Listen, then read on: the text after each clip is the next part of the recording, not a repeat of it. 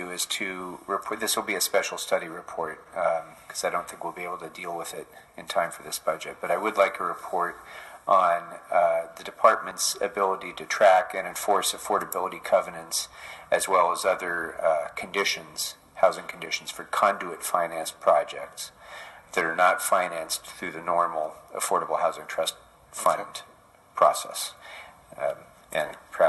Juxtaposing those sorts of projects with those that are funded Yeah. through the Affordable Housing Trust Fund. Yeah, thank you. I'd, uh, be happy to respond to that. I figured you might be. Um, all right. Uh, that brings us then, I think that covers everything